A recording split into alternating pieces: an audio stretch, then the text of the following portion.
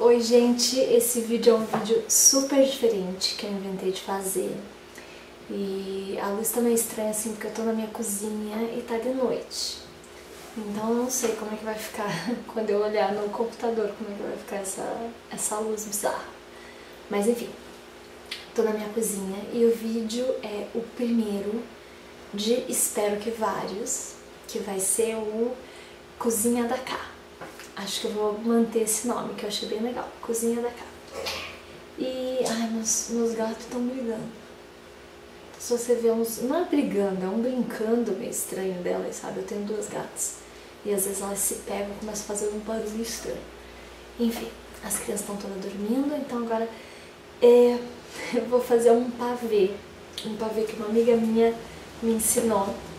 Ela se chama Paula, adoro Paula. Paula, pra você, beijo. é um pavê fácil, eu, eu nunca fiz, é a primeira vez que eu vou fazer. Eu vou falar pra vocês os ingredientes primeiro. É uma lata de leite condensado, é leite, que daí você vai usar duas medidas e meia da lata de leite. E daí um, três colheres de maisena, dessas aqui, três gemas de ovos, você tem que separar os ovos, né? São três ovos, então separa as três gemas e as três claras. É, você pode colocar cinco gotas de baunilha, mas é opcional. É, isso, e daí depois você também vai usar, você vai usar o, a, essas bolachinhas maisena, e as claras você vai ter que bater em neve com um pouquinho de açúcar e creme de leite. Então você vai usar creme de leite também. É isso, esses são os ingredientes.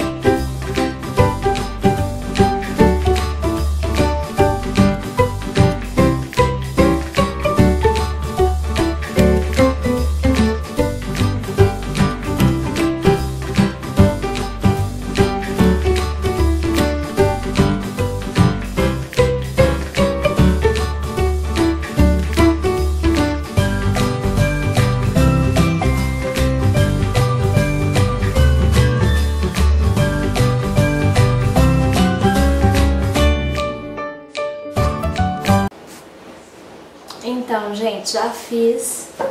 Desculpa, não ficou super perfeito assim as filmagens, mas primeiro que é a primeira vez que eu faço vídeo assim. Segundo que é a primeira vez que eu faço esse pavê. Então é o primeiro tudo. É, esqueci de avisar que eu tô de pijama, então assim, se vocês me veem com, nossa, ela tá de blusa soft lilás, é porque é meu pijama, tá gente, ó. Meu pijaminha.